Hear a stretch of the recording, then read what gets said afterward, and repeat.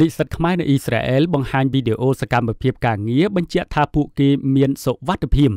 និស្សិតខ្មែរចុះកម្មសិក្សានិងបំពេញការងារនៅតាមកសិដ្ឋាននានានៅក្នុងប្រទេសអ៊ីស្រាអែលបានថតបង្ហាញសកម្មភាពការងាររបស់ពួកគេបញ្ជូនទៅក្រុមគ្រួសារក៏ដូចជាគ្រូនៅតាមសាលារបស់ពួកគេផងដែរតាមរយៈវីដេអូទាំងនេះក្រុមនិស្សិតខ្មែរបានអះអាងថាពួកគេកំពុងបំពេញការងារជាធម្មតានៅតាមកន្លែងការងាររបស់ពួកគេ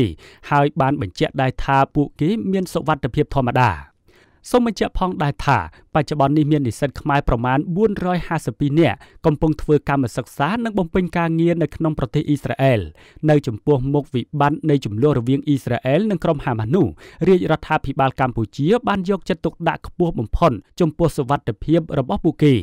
និស្សិតទាំងអស់ត្រូវបានជំនះមកកាន់ទីសុវត្ថិភាពដោយមានការការពារយ៉ាងតឹងរ៉ឹងពីសំណាក់អាជ្ញាធរពាក់ព័ន្ធនិងកម្លាំងរបស់អ៊ីស្រាអែលនៅក្នុងតំបន់ដែលពួកគាត់រស់នៅក៏ដូចជាពីសំណាក់ម្ចាស់កសិដ្ឋានដែលពួកគេកំពុងស្នាក់នៅនិងហាត់ការងារ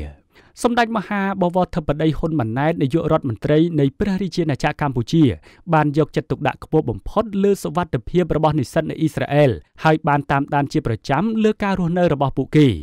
សម្ដេចធិបតីបានចាត់ឲ្យក្រុមការងាររបស់រាជរដ្ឋាភិបាល ដែលមានក្រសួងការបរទេសនិងកិច្ចសហប្រតិបត្តិការអន្តរជាតិក្រសួងកសិកម្មក្រសួងអប់រំយុវជននិងកីឡាអគ្គនាយកដ្ឋានចារកិច្ចក្រសួងការពារជាតិព្រមទាំងស្ថាប័នពាក់ព័ន្ធមួយចំនួនទៀតបានតាមដានយ៉ាងយកចិត្តទុកដាក់នៅរាល់ការវិវត្តនៅសភាពការនៅក្នុងប្រទេសអ៊ីស្រាអែលក៏ដូចជាតាក់ទងផ្ទាល់ជាមួយបងប្អូននិស្សិតជាប់ជាប្រចាំដើម្បីក្តាប់ឲ្យបាននៅសុខទុក្ខជាពិសេសសុវត្ថិភាពរបស់បងប្អូនទាំងយប់ទាំងថ្ងៃចាប់តាំងពីស្ថានភាពបានផ្ទុះឡើងកាលពីថ្ងៃទី7ខែតុលាគឺមួយសប្តាហ៍មុននេះ សម្ដេចធិបតីបានបញ្ជាក់ថាដោយសារស្ថានភាពវិវត្តប្រែប្រួលនៅក្នុងប្រទេសអ៊ីស្រាអែលជាពិសេសនៅតំបន់កាហ្សានៅមិនទាន់មានភាពច្បាស់លាស់នៅឡើយនិងដើម្បីត្រៀមជាយថាហេតុសម្ដេចបានប្រគល់ភារកិច្ចឲ្យក្រុមការងាររបស់រាជរដ្ឋាភិបាលកម្ពុជាដើម្បីរៀបចំទីកន្លែងសវត្ថិភាពបណ្ដោះអាសន្នមួយស្ថិតនៅភាគខាងត្បូងនៃប្រទេសអ៊ីស្រាអែលជាប់ព្រំប្រទល់ជាមួយនឹងប្រទេសអេស៊ីម